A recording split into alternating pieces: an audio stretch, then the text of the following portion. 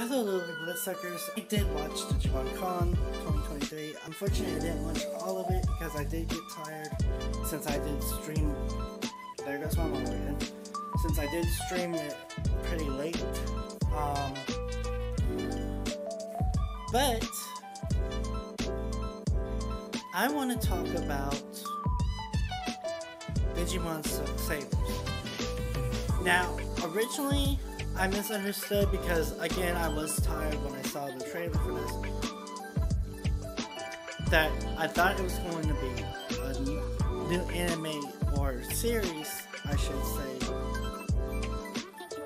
because it uh it uh starts off with a human in the real world and then he becomes digital when he goes to the digital world. Kind of like Digimon Dreamers. Well, not like Digimon Dreamers, but it represents kind of like Digimon Dreamers.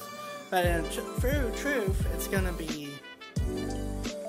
a novel, trailer, series, and uh, products.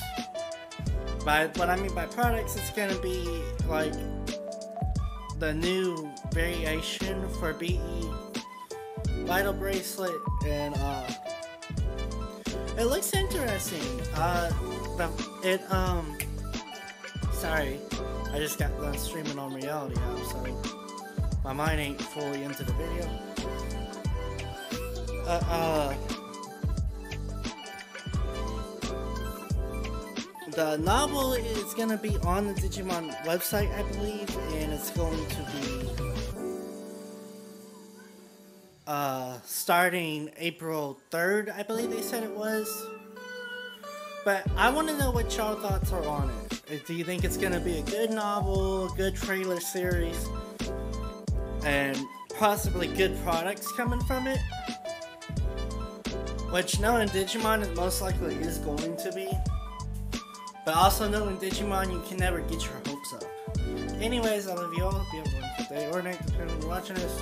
Bye.